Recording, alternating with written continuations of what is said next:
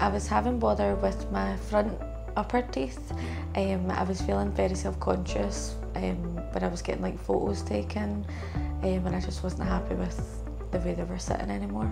Well, I had been to other orthodontists before, but the, just the cost was far too much for me. So I kind of went round different places to see, and then this was the perfect place to come for price and service. They're scheduled the braces to be on for about five to six months. I've not had any pain for the braces so far, like I don't even feel that they're on anymore. I can't believe the changes already and I'm only seven weeks in. I feel like I'm telling people that I have braces on just because they're so like invisible you can't even see them really.